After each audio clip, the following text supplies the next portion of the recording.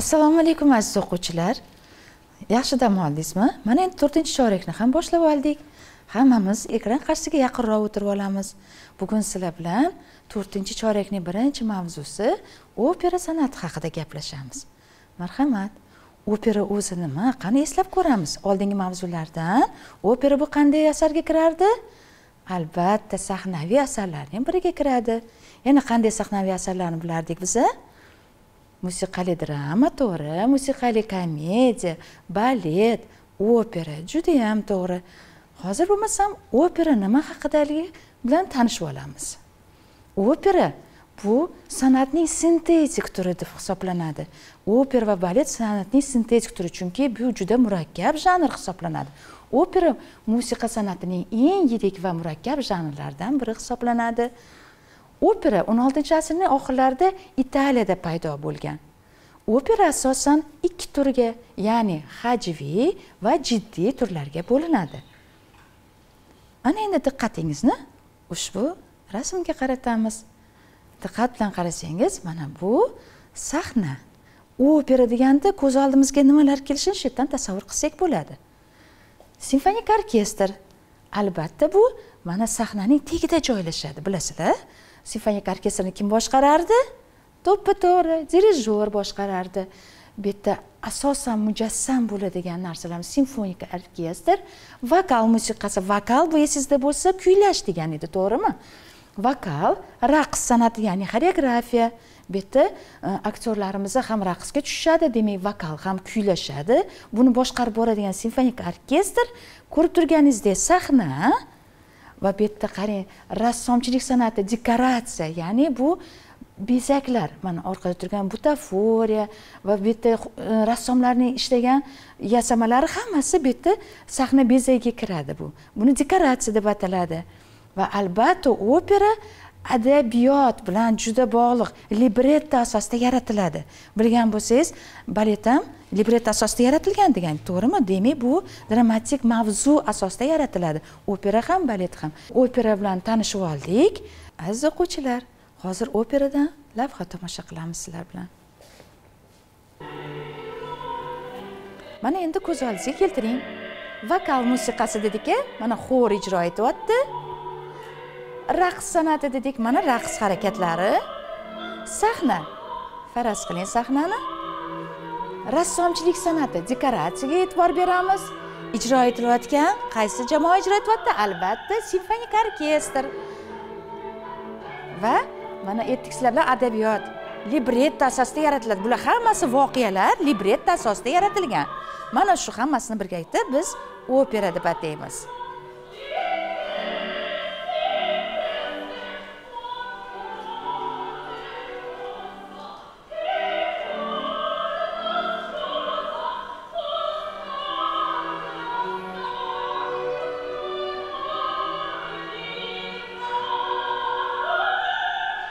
Opera haqida ham bilib oldingiz. Endi ovozlarimizni sozlab olib bugun sizlar bilan quvnoq yangi qo'shiq bilan tanishamiz. Avval ovozlarimizni sozlab olamiz qo'shig'imiz do major tonalligida yozilgani uchun hozir do major tonalligida ovozlarimizni sozlab olamiz. Birinchi mashqimiz man bilan birgalikda kuylaysiz do major hammamizga tanish albatta. Do re mi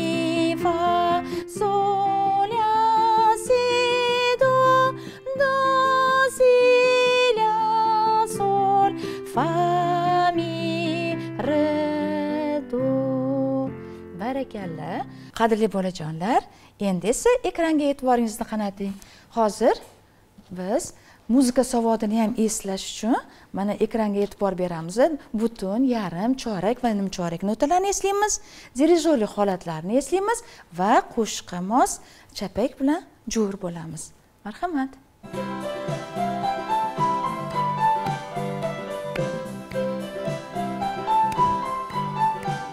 Dirijorlik qilamiz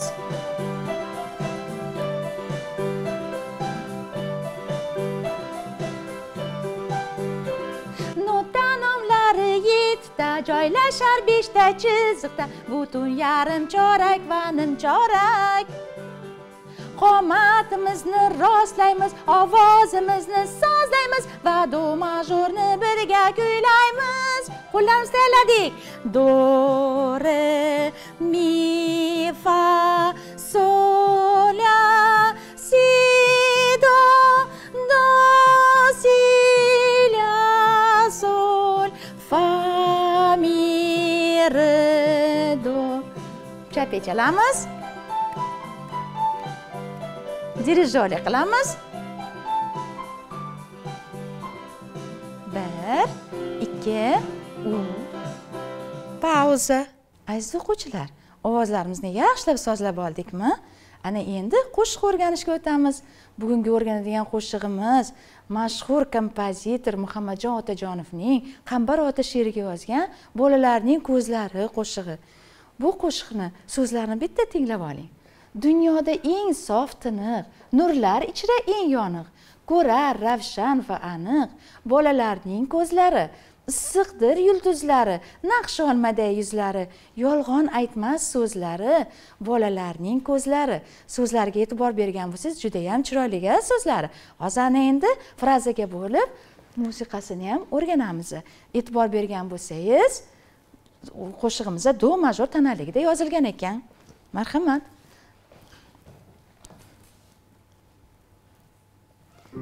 Birinchi so'zlariga e'tibor bering. Dunyoda insof va tiniq nurlar ichra yoniq. Ko'rar ravshan va aniq bolalarning ko'zlari. Olti yuz sakkiz o'lchovida dirijorlik qilib ham kuylasangiz bo'ladi chunki o'lchovlarni ham juda yaxshi bilasiz. Marhamat yana bir marta aytib ko'ramiz a dunyoda insof va tiniq nurlar ichra yoniq. Ko'rar ravshan va aniq bolalarning ko'zlari. Bu birinchi bandi edi ana bundan keyin naqoratini kuylaymiz diqqat bilan eshitamiz. Naqorat bu takrorlanuvchi qismi qo'shiqimiz to'g'rimi?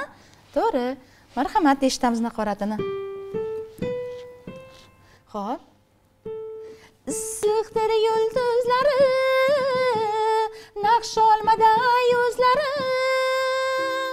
Yolg'on aytmas so'zlari bolalarning ko'zlari. Ana endi yana bir marta qaytarib olamiz issiqdir yulduzlari naqsh olmada yuzlari. Yolg'on aytmas so'zlari. Ko'zlari. Judayam yaxshi. Ana endi hozir bolalar xori bilan birgalikda bu qo'shiqni quvnoq ijro etamiz sizlar bilan. Marhamat.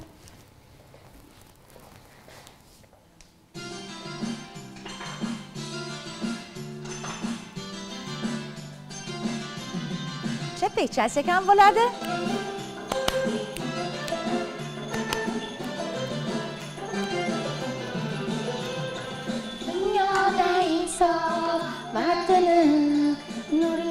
Nurlar yonib ko'rar ravshan va aniq bolalarning ko'zlari issiqdir yo'l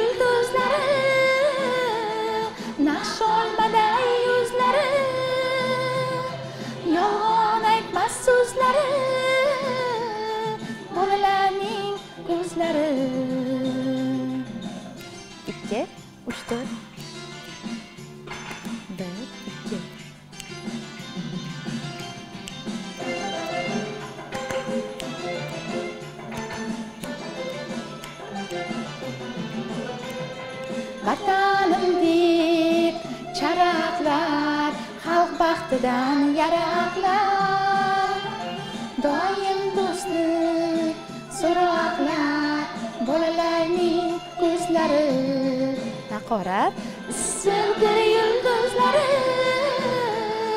naqsh olmaday yuzlari yolg'on aytmas so'zlari bolalarning ko'zlari rahmat aziz o'quvchilar qolgan qo'shiqni qismlarini keyingi darsda o'rganamiz. Hozir esa mavzularimiz bu yuzasidan va qo'shiqlarimiz yuzasidan mustahkamlab olamiz darsimizni. Qani eslab ko'ringchi bizni tanishgan opera san'ati haqida nimalarni tasavvur qildingiz? Qani opera deganda ko'z oldingizga nimalar keldi? Siz o'zingiz uchun qog'ozga yozib olishingiz mumkin bularni. Keyin birgalikda tekshiramiz javoblaringizni. Qani endi tekshirib ko'ramiz a? Ho'p agar siz simfonik orkestr vokal musiqasi raqs san'ati sahna adabiyot ya'ni libretto rassomchilik san'ati dekoratsiya deb yozgan bo'lsangiz to'g'ri to'ldirgan bo'lsangiz demak sizga olqishlar. Siz to'g'ri topdingiz javoblarni barakalla. Ana endi bu sizga mustaqil bajaradigan topshirig'imiz bo'ladi. Uyda zerikmasdan ota onalaringiz bilan opa singillaringiz bilan birgalikda bu uy vazifasini bajarishingiz mumkin. Bolalarning ko'zlari qo'shig'ini yod olish mualliflarini bilish. Esingizda qoldimi mualliflari kimligi? Mavzu yuzasidan qo'shimcha ma'lumotlar topish. Bu internet orqali yoki bo'lmasam e, kitoblar orqali ham yangi ma'lumotlar topib yana ham bilimingizni boyitishingiz mumkin. Aziz o'quvchilar shuning bilan bugungi darsimiz tugadi. E'tiboringiz uchun katta rahmat.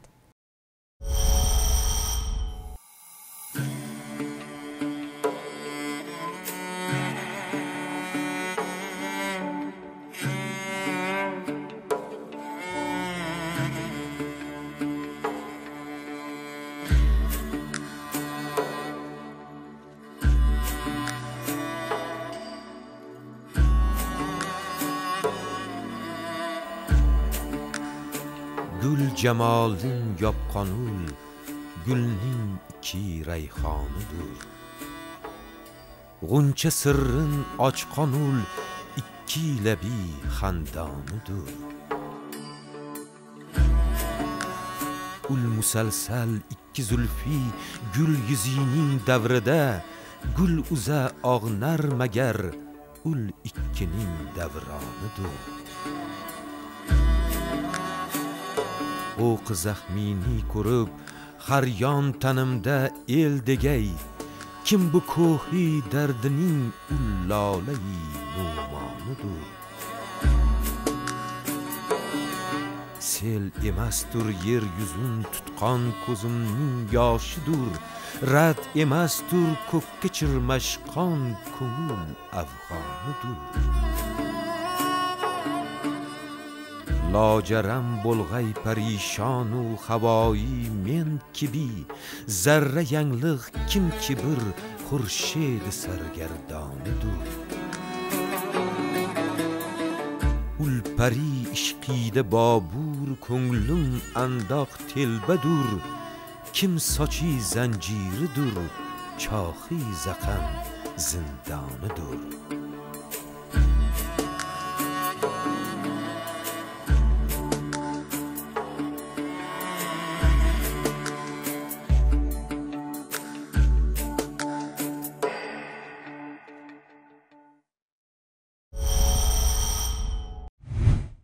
assalomu alaykum aziz o'quvchilar. Bugun sizlar bilan biologiya darsida barglarning ichki tuzilishi mavzusi bilan tanishib chiqamiz. Dastlab o'tgan darsdagi mavzuni bir eslab takrorlab olamiz. Biz o'tgan darsda sizlar bilan novdada barglarning joylashishi hamda barglarning shakl o'zgarishi mavzusini o'tgan edik. Qani bolalar bir eslab ko'ringchi novdada barglar qanday tartiblarda joylashar edi? Barakalla novdada barglar asosan uch xil tartibda navbat bilan qarama qarshi hamda halqasimon joylashar edi. Barglarimiz va o'simliklarimiz qanday sharoitda o'sishiga qarab biz ularni yorug'sevar soyasevar o'simliklarga bo'lgan edik. Yorug'sevar o'simliklarimizga kungaboqar kartoshka pomidor g'o'za kabi o'simliklarni misol qilib keltirgan bo'lsak soyasevar o'simliklarga esa qulupnay xina binafsha o'simliklarni misol qilgan edik. Oldingi darsda aytib o'tganimizdek ayrim barglarimiz o'z tashqi ko'rinishini o'zgartirib boshqa fiziologik vazifani bajarishga moslashgan edi. Masalan kaktus kabi o'simliklarimizda barglar tikanga aylanib himoya vazifasini o'tar edi. Mana bu sizlar bilan o'tilgan mavzuni qisqacha takrori edi. Ana endi yangi mavzuni boshlaymiz ya'ni barglarning ichki tuzilishi. Barglar ham o'simliklarning boshqa organlari singari hujayralardan tuzilgan.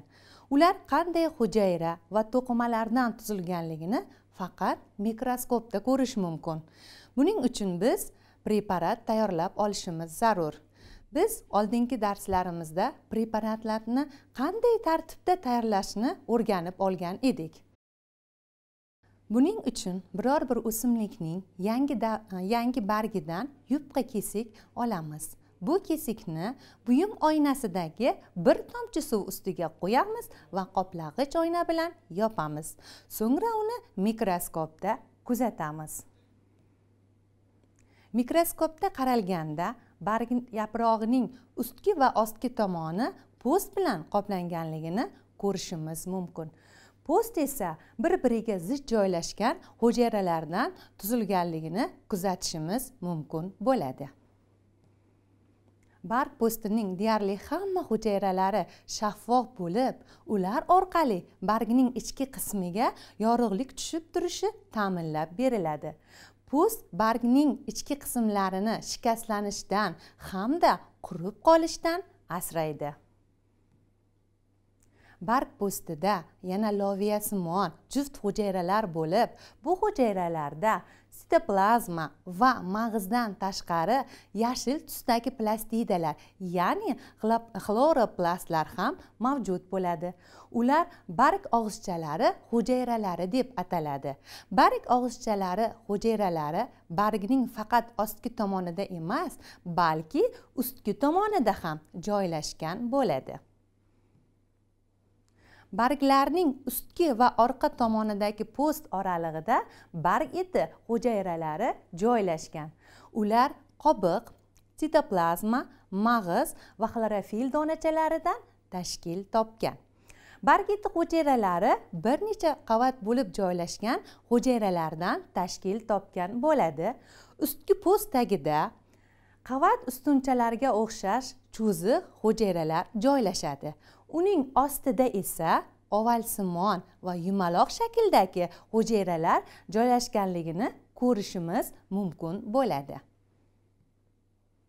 Bargning ko'ndalang kesmasida tomirlarni ko'rish mumkin. Tomirlarning ichida qalin devorli o'lik hujayralardan tashkil topgan naychalar joylashgan bo'ladi. Shuningdek tomirlarda naychalardan tashqari cho'ziq bir biri bilan zanjir shaklida ulangan hujayralar ham bor. Bu hujayralar to'rga o'xshab bir biri bilan ko'p sonli teshikchalar orqali tutashgan elaksimon naylarni hosil qiladi. Barglarning tomirlarida suv va unda erigan mineral tuzlar harakatlanadi. Barg tomirlarida bulardan tashqari po'sti qalin pishiq juda uzun hujayralar ham bor. Bu hujayralar tolalar ham deb ataladi. Tolalar bargga mustahkamlik berib turadi. Demak naychalar elaksimon naychalar va tolalar birgalikda barg tomirining nay tolali boylamlarini hosil qiladi. Tomirlar barg etining barcha qismiga kirib boradi. Shunday qilib bargning ichki qismi qoplovchi asosiy o'tkazuvchi va mexanik to'qimalardan tashkil topgan ekan. Ana endi aziz o'quvchilar mavzumizni yanada yaxshiroq o'zlashtirish uchun mustahkamlash uchun bir qancha topshiriqlarni bajarib olamiz. Birinchi topshiriq. Bu sizga test shaklida beriladi. Og'izchalar bargning qaysi qismida joylashgan? A. Ustki b. Ostki s ustki va ostki. D. Bargda og'izchalar umuman bo'lmaydi. Ikkinchi savol.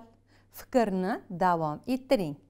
Barg eti hujayralari qobiq sitoplazma va yana nimalardan tashkil topgan? A. Vakuol va mitoxondriya. B. Endoplazmatik tur va golji majmuasi. S mag'iz va xromatofor. D. Mag'iz va xlorofil donachalari. Ana endi daftaringizga javobni belgilab bo'lgan bo'lsangiz javobni tekshirib olamiz. Birinchi savolimizning javobi og'izchalar bargning ustki va ostki tomonida joylashgan bo'ladi. Javobimiz s variantda berilgan ekan. Fikrni davom ettiring. Barg eti hujayralari qobiq sitoplazma mag'iz va xlorofil donachalaridan tashkil topgan. To'g'ri javobimiz d variantda ko'rsatib o'tilgan ekan. Ana endi keyingi topshiriqqa o'tamiz. Barg qismlarini ularning xususiyatlari bilan juftlang. Bu topshirig'imizning birinchi ustunida raqamlar ostida bargning qismlari berilgan. Ikkinchi ustunida esa harflar ostida barg qismlarining xususiyatlari ko'rsatib o'tilgan. Siz ana shu qismlarni qaysi xususiyatlarga to'g'ri kelishini yozib aniqlab berishingiz kerak bo'ladi. Buning uchun siz raqamlar ostida to'g'ri xususiyat to'g'risida keltirilgan harflarni belgilab daftaringizga yozib olasiz so'ngra biz javoblarni tekshirib olamiz. Barg qismlaridan birinchi po'sti ikkinchi tomirlar uchinchi tolalar to'rtinchi shaffof hujayralar ko'rsatilgan. Barg qismining xususiyatlariga esa bargga mustahkamlik beradi. Ular orqali yorug'lik barg ichiga o'tadi. Bargning ichki qatlamlarini shikastlanishdan saqlaydi. Suv va unda erigan oziq moddalar harakatlanadi. Ana endi siz daftaringizga xuddi oddiy testni ishlaganimizdek masalan birinchi postga s xususiyat to'g'ri kelsa bir chiziqcha s deb belgilaysiz. Xuddi shu tartibda qolganlarini ham belgilaysiz. Demak javobingizni belgilab bo'lgan bo'lsangiz ana endi ularni tekshirib ko'ramiz. Demak birinchi postning vazifasi bargning ichki qatlamlarini shikastlanishdan saqlar ekan. Bu s variantga to'g'ri keldi. Ikkinchi tomirlar. Tomirlarda suv va unda erigan oziq moddalar harakatlanar ekan. Bu bizga d variantga to'g'ri keldi. Uchinchi tolalar. Tolalar bargga mustahkamlik berar ekan. Bu bizda a variantga to'g'ri kelar ekan. To'rtinchi shaffof hujayralar. Shaffof hujayralar orqali bargning ichki qismiga yorug'lik o'tib turar ekan. Bu bizda b variantga to'g'ri keldi. Ana endi keyingi topshiriqqa o'tamiz. Bittasi ortiqcha mashqi. Demak fikrlar shunday keltirilganki bu fikrlar orasida bitta so'z yoki so'z birikmasi ortiqcha. Ana shu ortiqcha so'z yoki so'z birikmasini siz topib olishingiz kerak bo'ladi. Demak tartib raqami ostida man bu fikrlarni o'qiyman siz esa faqat ortiqcha so'zni raqamlar ostida daftaringizga yozib borasiz. Birinchi naychalar. Elaksimon naychalar. Tolalar. Barg og'izchalari. Birgalikda nay tolali boylamlarni hosil qiladi. Ikkinchi barglarning ichki qismi qoplovchi asosiy o'tkazuvchi ajratuvchi va mexanik to'qimalardan tashkil topgan. Uchinchi ustki po'st tagida cho'ziq naysimon ovalsimon va yumaloq shakldagi hujayralar joylashgan. To'rtinchi loviyasimon juft hujayralarda sitoplazma mag'iz plastida va yasmiqchalar bo'ladi. Beshinchi barg yaprog'ining ustki ostki va markaziy qismi po'st bilan qoplangan. Yuqorida aytib o'tganimdek raqamlar ostida siz faqat ortiqcha so'z yoki so'z birikmasini daftaringizga yozib olgan bo'lsangiz ana endi biz javoblarni tekshirib ko'ramiz. Demak birinchi fikrimizda barik og'izchalari ortiqcha ekan. Naychalar elaksimon naychalar tolalar birgalikda nay tolali boylamlarni hosil qilar ekan. Barik og'izchasi esa bu fikrga qo'shilmas ekan. Ikkinchi barglarning ichki qismi qoplovchi asosiy o'tkazuvchi va mexanik to'qimalardan tashkil topgan ekan. Bunda ajratuvchi to'qima bu fikrga qarshi ekan. Uchinchi ustki po'st tagida cho'ziq ovalsimon va yumaloq shakldagi hujayralar joylashgan ekan. Ya'ni naysimon hujayralar bo'lmas ekan. To'rtinchi loviyasimon juft hujayralarda sitoplazma mag'iz plastida bo'lar ekan. Yasmiqchalar bo'lmas ekan. Beshinchi barg yaprog'ining ustki ostki qismi po'st bilan qoplangan bo'lar ekan. Markaziy so'zi bu fikrimizda ortiqcha ekan. Demak aziz o'quvchilar bugun biz sizlar bilan bargning ichki tuzilishi mavzusi bilan tanishib chiqdik. Demak yuqorida aytganimizdek barg ham boshqa o'simlikning organlari singari bir qancha hujayralardan tuzilgan ekan. Bu hujayralarni biz yuqorida ko'rib o'tdik. Asosiylaridan siz eslab qolishingiz kerak bo'lgan tushunchalarimiz barg og'izchalari barg eti hujayralari hamda tolalar elaksimon naylar va naychalar birgalikda nay tolali bog'lamlarni hosil qilishini hamda bargning ichki qismi asosiy qoplovchi o'tkazuvchi va mexanik to'qimalardan tashkil topganligini bilib olishimiz zarur ekan. Aziz o'quvchim agar sizga bugungi darsimiz tushunarli bo'lgan bo'lsa sizga mustaqil bajarish uchun topshiriq beraman. Topshiriq. Mavzuni qunt bilan o'qib chiqing. Mavzu yakunida berilgan beshta savolga javob bering. Mavzuda keltirilgan rasmni chizib izohlab qo'ying. Aziz o'quvchilar bugungi darsimiz o'z nihoyasiga yetdi. E'tiboringiz uchun rahmat.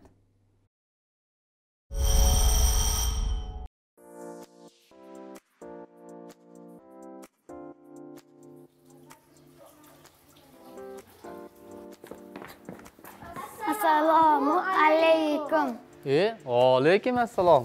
Qanaqasizlar? Ta'tilda juda zerikkanga o'xshaysizlar a?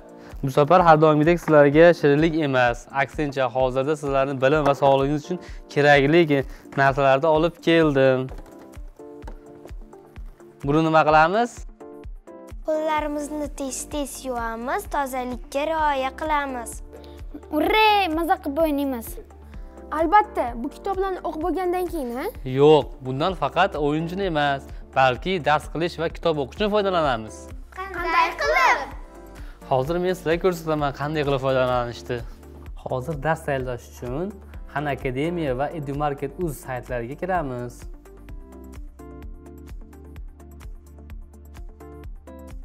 Dars tayyorlab bo'lgandan keyin kitob uz saytidan qiziqarli kitoblarni yuklab olamiz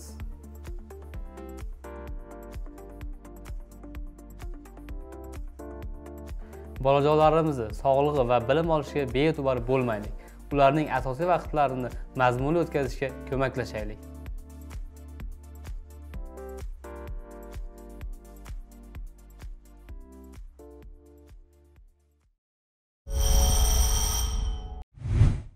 Assalomu alaykum aziz o'quvchilar. Kayfiyatlaringiz qalay kayfiyatlarni ko'tarinki holatga keltirib olgan holda navbatdagi mashg'ulotimizni boshlaymiz. Biz sizlar bilan o'tgan mashg'ulotda milliy qo'g'irchoqlarni tayyorlashni birgalikda o'rganib chiqqan edik. Mana bugun esa siz bilan birgalikda yumshoq o'yinchoqlarni yasashni birgalikda o'rganamiz. Yumshoq o'yinchoqlar ko'rib turganingizdek o'ynash uchun qulay o'yinchoqlar hisoblanadi. Bu o'yinchoqlarni aziz o'quvchilar kichkinagina jajjigina ukachalarimizga singiljonlarimizga tayyorlab berishimiz mumkin. Ana endi ekran qarshisiga yaqinroq kelgan holda amaliy mashg'ulotimizni boshlaymiz. Amaliy mashg'ulotimiz uchun kerakli bo'lgan mahsulotlarimiz asos qismi paypoq. Paypoqni agarda bo'yin rezina qismi uzunroq bo'ladigan bo'lsa bir dona agarda kalta bo'ladigan bo'lsa ikki dona paypoq ketishi mumkin. Hamda buning ichini to'ldirish uchun esa sintfondan yoki paxtadan foydalanamiz. Ko'zi uchun munchoqlardan foydalanamiz. Lab qismini chiqarishimiz uchun qizil ipdan foydalanamiz. Demak amaliy mashg'ulotni bajarish davomida texnika xavfsizlik qoidalariga amal qilishni unutmang. Hamda ish o'rningizni to'g'ri tashkil etib sanitariya gigiyena talablariga ham amal qiling. Ana endi siz bilan birgalikda mashg'ulotimizni boshlaymiz. Birinchi o'rinda bajaradigan ishimiz paypoqni tovon qismidan ikkiga buklab kesib olamiz. Mashg'ulotimizni ketma ketlikda birgalikda bajarishga harakat qiling. Orqada qolib ketmang. Paypog'imizning uchki qismini to'g'ri holatga keltirib olamiz. Hamda ikkiga buklaymiz. Uchki qismini demak to'rt santimetr yoki besh santimetr chuqurlikda kesib olamiz.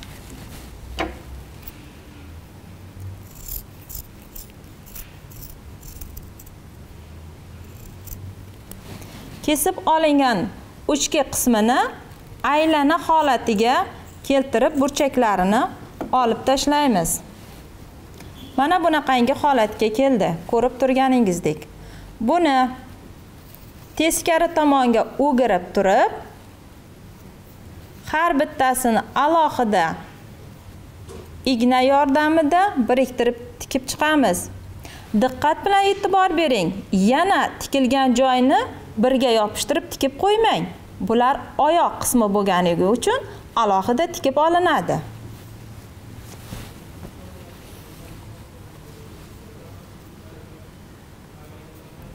Tikish jarayonida. Ignadan to'g'ri foydalanishga amal qiling. Hamda choklaringizni juda ham mayda chokda tiking. Agarda choklaringizning orasi katta bo'ladigan bo'lsa ichiga solgan paxta yoki sintefoningiz chiqib qolishi mumkin. Chok haqini 0,2 santimetr qoldirishingiz mumkin.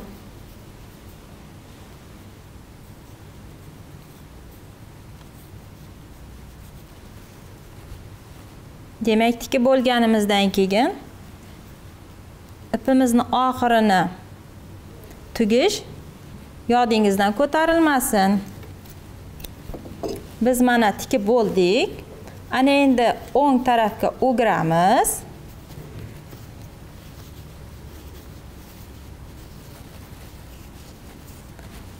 Hamda ichini sintifon yoki paxta yordamida to'ldiramiz. Qo'g'irchog'imizni tana qismini to'ldirib bo'ldik. Ana endi buni paxtasi ichidagi mahsuloti chiqib ketmasligi uchun mustahkamlab berkitib olamiz.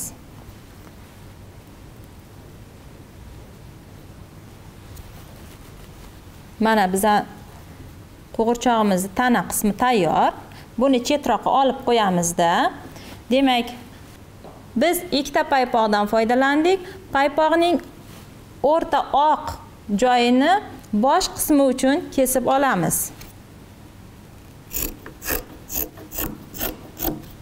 Paypog'imizning birinchi uchki qismini ip yordamida berkitib yopib olamiz. Chunki buning ichini ham biz sintifon yoki paxta yordamida to'ldirib olamiz.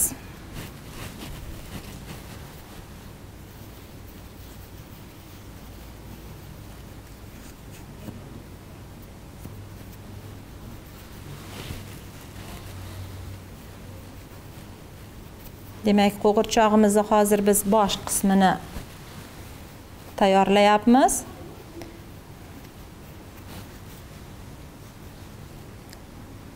Ana endi sintfon bilan ichini to'ldirganimizdan so'ng buni ham og'iz qismini yopib mustahkamlab olamiz.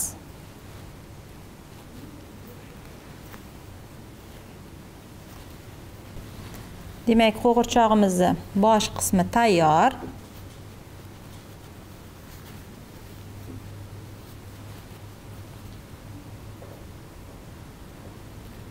Ana endi bu bosh qismini biz tanaga ulab olamiz.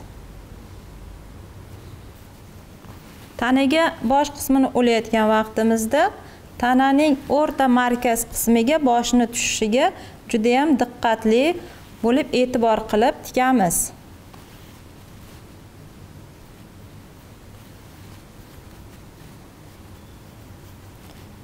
Mana ko'rib turganingizdek bosh qismini ulab oldik. Ana endi biz burun qismini chiqarib olishimiz kerak. Buning uchun qalam yoki ruchkadan foydalangan holatda ikki ko'z burun hamda og'izning o'rtalarini nuqta yordamida belgilab olamiz. Hamda belgilangan burun qismini o'rtasini o'tgan amaliy mashg'ulotimizda o'rgatganimizdek aylana shaklida tikib olib burunning shaklini chiqaramiz.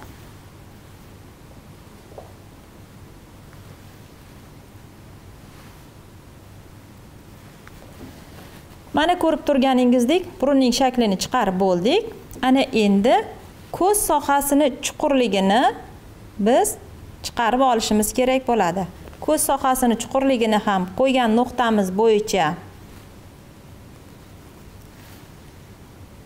Orqaga ipni tortib chiqarib olishga harakat qilamiz.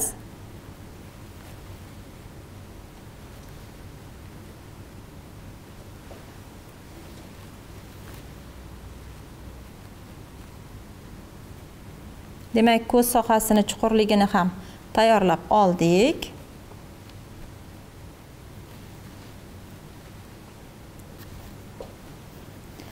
Ana endi yelim yordamida biz ko'zlarini yopishtirib olamiz.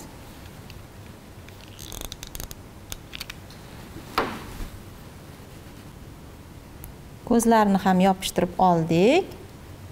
Qizil ip yordamida esa lab qismini chiqarib olamiz. Agar xonadoningizda qizil ipni topa olmasangiz qizil ruchka yordamida foydalanib yoki qizil qalam yordamida foydalanib labini chizib yoki bo'yab qo'yishingiz mumkin.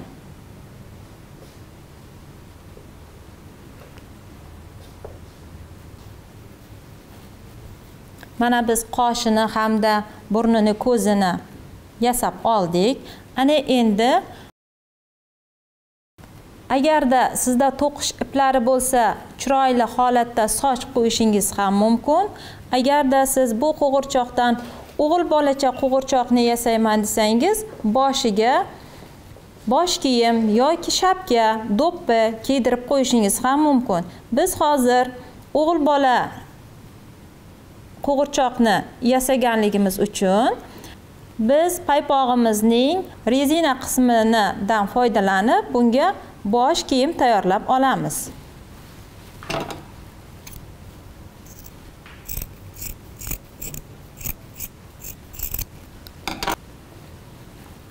Bosh kiyimni tayyorlashda rezinadan tepa qismini tikib olamiz.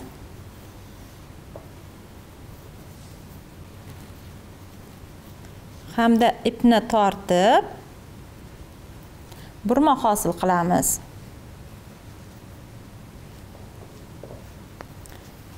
Qo'g'irchog'imiz uchun ham bosh kiyim tayyor. Buni biz bosh qismiga kiydirib qo'yishimiz mumkin.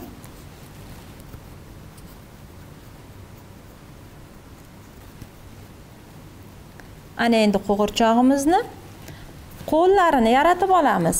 Qo'llarini yaratishda biz ipdan foydalanamiz.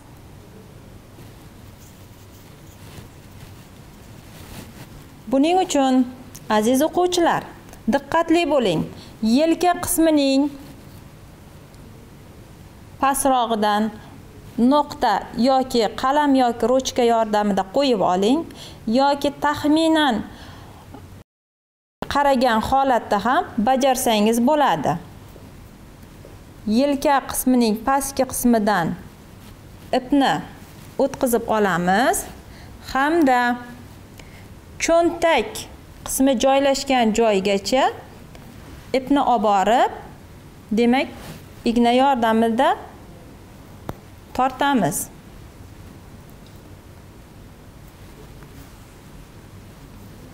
Buni maydalab tikib yotish shart emas faqat to'rtta igna teshigi yordami holatda qo'llari tayyor bo'ladi.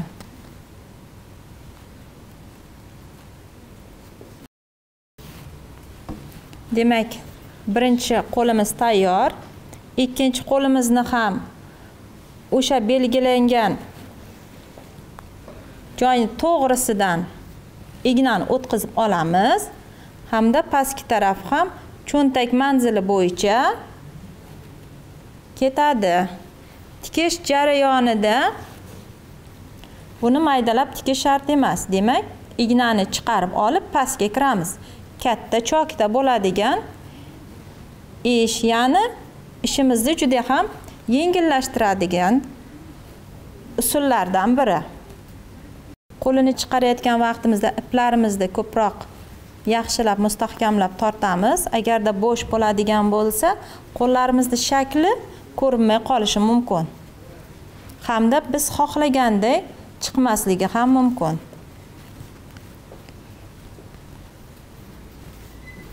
Aziz o'quvchilar bugungi mashg'ulotimizda tayyorlayotgan yumshoq o'yinchoqli qo'g'irchog'imiz ham yakuniga yetdi. Ekranda ko'rib turganingizdek mana shunaqangi ajoyib o'yinchoqlarni siz bilan birgalikda tayyorladik. Bu o'yinchoqlarni ukajonlarimizga bersak juda ham mazza qilib o'ynashadi. Eng asosiy kichkina yosh bolalarning tanasiga yuziga qo'liga og'ir botmaydigan yumshoq o'yinchoq hisoblanadi. Mana shu o'yinchoqlarni yana bir bor uyingizda takrorlab tayyorlab ko'rib o'zingizning yaqin jiyanlaringizga qarindoshlaringizga sovg'a qilishingiz mumkin.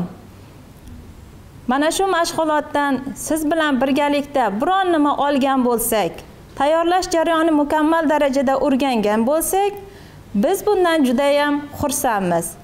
Aziz o'quvchilar keyingi mashg'ulotimizda uchrashguncha salomat bo'ling.